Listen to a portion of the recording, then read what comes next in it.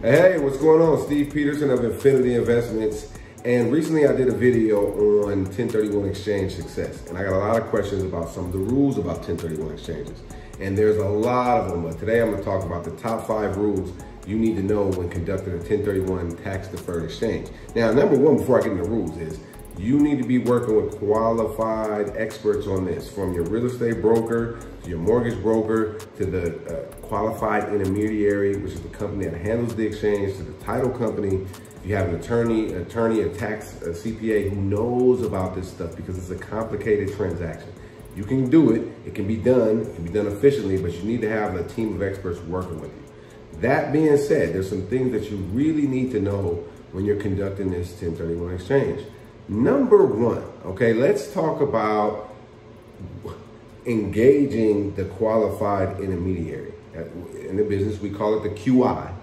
And you need to engage the QI before the close of escrow. Rule number one, engage the QI before you close. Because what happens is, say you close escrow and they send you or your client the money, you have now what's, you are now what's called in constructive receipt of the funds, meaning that you can't exchange. You are paying capital gains taxes.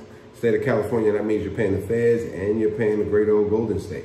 You don't want to do that, especially if you were trying to do the exchange. Seems real simple. Unfortunately, people have bumped their heads up against the wall in the wrong way in this one. So what you want to do is you want to engage the QI before close, at least a day before close. Now, I highly uh, recommend that you do this as soon as you open up escrow on the down leg property, the property that you're selling.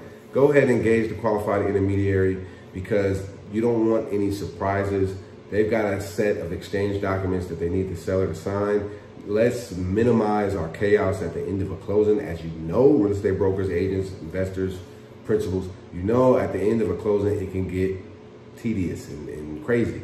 So let's minimize on that by engaging the QI up front. That way, if there's anything that, that you need to ask or you need to address during the escrow, you're not waiting at the end and getting some, uh, you know, you know, getting some information and having to scramble. This is not a scramble drill. Unfortunately, it ends up being like that a lot of times, but we want to take our diligent steps towards making sure that this transaction goes as smooth as possible.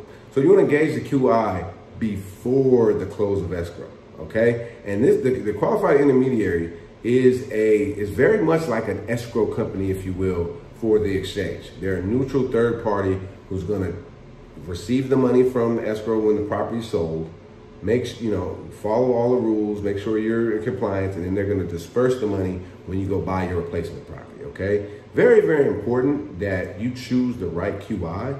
Okay, I work a lot with IPX 1031 Exchange. I've also worked with Chicago Deferred Exchange. Um, there's a lot of different companies a Rexco exchange, but you want to make sure that this company is properly licensed and bonded and funded because back in the Great Recession, there were a lot of companies popping up, this lawyer, mom and pop fund uh, companies uh, doing stuff, and they would, you know, get the money. And unfortunately, a couple of them got the money and they ran off. And then their clients were stuck on the hook without any money and then owing taxes. You got to make sure you're dealing with a reputable firm, one that's licensed, bonded, and they're, you know, they're well capitalized and you don't have to worry about them going bankrupt either. Very important. So engage the QI, the right QI, before the close of escrow. That's number one. Number two, okay, the identification and closing deadline requirements. This is the most stressful piece, I believe, in my opinion, of the business, of the exchange process, okay? Because from the date escrow closes, you got 45 calendar days, not 45 business days. It's another big mistake. And I just had someone call me yesterday, hey, we got 60 days, right? You don't got 60 days. You got 45 days. And that includes Christmas, Thanksgiving, Hanukkah, Kwanzaa, 4th of July, all of that. Now, I will say, during COVID, there was an extension made And I, I, I made a video with Ron Ricard of IPX 1031 because when COVID first hit, and on April, there was an extension of the 45 days and you know to, to identify your property. Okay, but let's just pretend like that because right now that extension is not in action. We're back to the 45 days to identify. And what identify means is that uh, you have to fill out the exchange documents identifying the address and the purchase price of the property that you're going to be acquiring, okay? So you got 45 days from the close of escrow to go ahead and do that. And then you have 180 days, important, from the close of escrow to close of your leg property, the property you sold. So close of escrow on the down leg property. 180 days later, you have to have closed the replacement property. Okay, that's not 180 days at the end of 45 days. That 45 day identification period is within the 180 days. A lot of people get this one wrong because it's not 45 plus 180. It's 45 within the 180. And again, that 180, calendar days, not business days, okay? And holidays don't count, all right? Now, let me just talk a little bit about the identification process because there's a couple different ways you can identify. The most common way to identify, one we recommend, is the three property rule. So you, you have to identify up to three properties. You write them on a piece of paper, submit them to the qualified intermediary. However, there's another rule that's a little bit more complicated called the 200% rule, which means this, you can identify 100 properties if you want, an unlimited amount of properties, so long as the total aggregate value of all those properties that you identify does not exceed 200%, 200% of the value of the down leg property. So in other words, you sell a property for a million dollars, right? You can uh, identify however many properties you want to uh, identify as long as the aggregate value, the total value of all the properties you identify does not exceed $2 million, okay? 200% rule. Very, very important, okay? I, I, I suggest you try to stick with the three property rule because it's a lot more straightforward. And we want to try to simplify this process as much as we possibly can because there's a lot of moving parts, okay? So that's just some clarity within that. 45 days from close of escrow to identify, 180 days from the close of escrow to close on the new properties, on the replacement properties, okay? Calendar days, not business days, holidays don't count. Got it? All right. Rule number three. All right, now this is very, very important because you need to be able to spend the cash and replace the debt. Okay, here's what I mean by that. So let's say you sold a property at a million dollars, all right? You, and, let's just say the property that you sold had a $600,000 loan against it. So you sold at a million dollars and you got 400,000. That's probably gonna be a blend of your gain and your original investment. And by the way, just so you know, not to get into tax stuff, but when you pay capital gains, it's based on the gain, okay? What you profited, okay? Not necessarily your initial investment. So your initial investment goes in what's called your basis, and when you're taxed, you're taxed on the gain, all right? However, when you're exchanging, you need to invest all of that cash into the next one and into the, what's called the replacement property. Any cash that you do not invest, even if you it, it was a part of the original investment, is what's called boot and boot is the amount of money that you need to pay taxes on. Now, some of you guys say, hey, I want to do this exchange. I want to reinvest. I want to buy another property, but I need to put like 50 grand in my pocket just because, you know, I need to put some money in my pocket, right?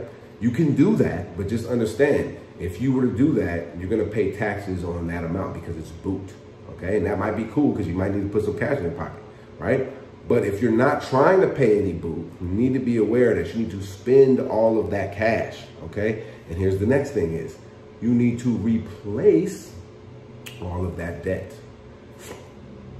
Meaning that if you had $600,000 of debt on your down leg property, you need to at least, at least have $600,000 of debt on the new up leg property or properties. And that can, again, be, it can be spread out over three properties if you do the three property rule or however many properties if you do the 200% rule.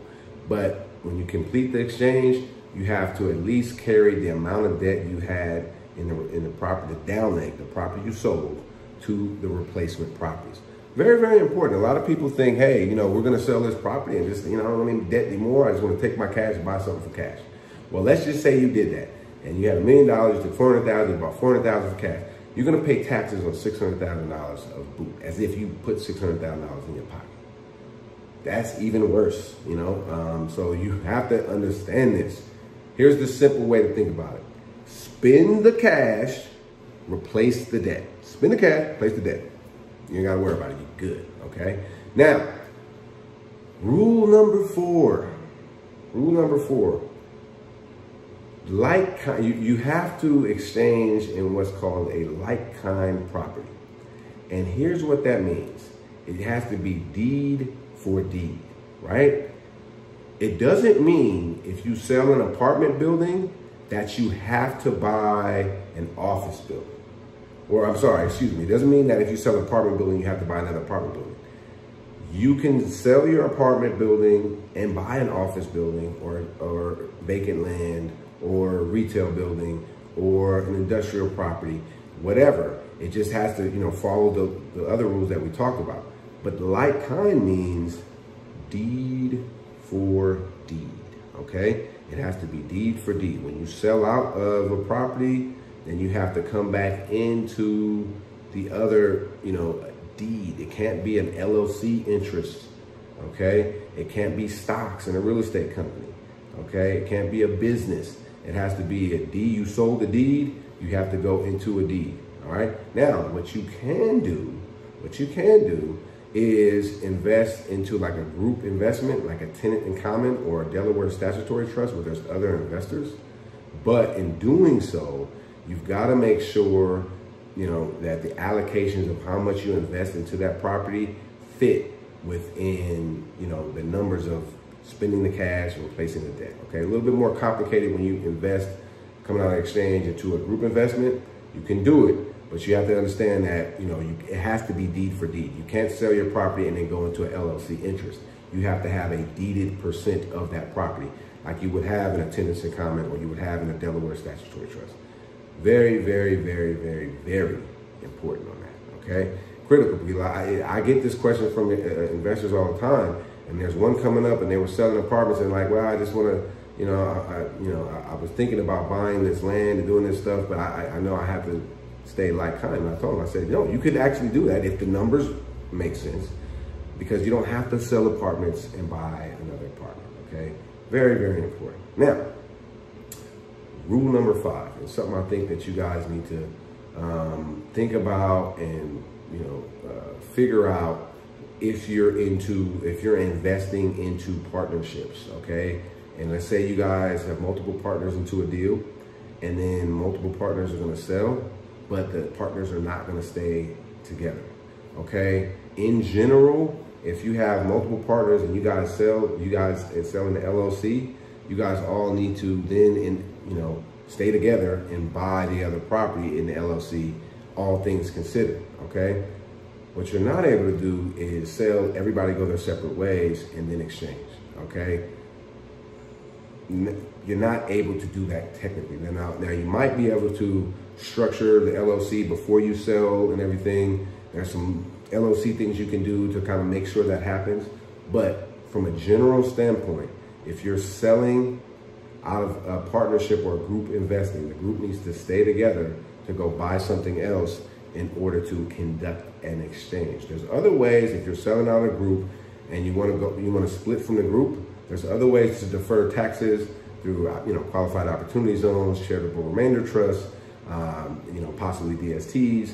But if you're trying to sell and everybody goes their separate way and you individually want to go and buy another property in an exchange, you're not able to do it. Now, there, there are some things you might not talk to your lawyer, talk to your attorney, your accountant, you might be able to do if you guys are saying, hey, we want to sell, but we don't want to, you know, stay together. You know, what can we do that, to make sure that one of the partners can do an exchange, okay? But the, the, the general piece of it is if you guys are selling as a partnership or a group investing and you need to, and you want to do an exchange, you have to stay together, okay? And if not, then you really need to pre-plan before you sell and figure out how you're gonna do a deal uh, and, and, and in the context of a 1031 exchange. Now, as I wrap this up, I always like to say, the reason we do an exchange is to buy a better, better asset, not to defer uh, capital gains taxes, okay? You don't wanna just do an exchange to defer the taxes and buy a worse asset. That's a, that's a bad move. You wanna make sure in doing this that you're going from one asset to a better asset or one situation to a better situation. Let the economics drive the deal and let the icing on the cake be the deferral capital gains. I hope this was helpful. Like, subscribe, share this with friends, uh, stay engaged, and I'm gonna do another video on 1031 exchanges because I really see there's a lot of gray zones and I, I, you know, as we navigate, especially out of this pandemic, and a lot of people are doing exchanges, we need to be really clear and succinct on what we're doing, how we're doing it, and who we're doing it with. I look forward to seeing y'all in the next video. Have a great day. The Power is Now media is worldwide with growing audience of future homebuyers, investors, builders, developers, real estate agents, and brokers. The Power is Now media is well positioned to increase awareness and produce results for our growing roster of advertising partners. An advertisement on any of our platforms is the right step toward reaching and communicating key brand messages to a targeted network of individuals, families, and communities interested in housing. Our content areas include feature stories and profiles on successful real estate agents, business owners, government, and community leaders. The Power is Now magazines are the leading resource for real estate agents, mortgage bankers, entrepreneurs, and small home ownership businesses, providing leaders with business strategy information, resources, and tools through PIN, real estate, and programming guide magazines. Stay up to the minute with real estate and mortgage news and information from industry experts. VIP agents are able to feature listings each week. The Power is Now TV radio podcast features weekly shows that include Homebuyers Town Hall, Real Estate Roundtable, VIP Agent Spotlight, and so much more. Each week, VIP agents have opportunities to be featured guests on the shows. VIP agents can discuss and showcase houses, neighborhoods, and provide brief introduction. The interviews are unlimited 10 to 15 minutes on each current listing. This product alone separates you from your competition. The Power is Now delivers to you market update interview to promote listing weekly, promotional biographical video, co-host a bi-monthly homebuyers town hall show, featured subject matter expert on real estate roundtable show. The Power is Now program guide e-magazine.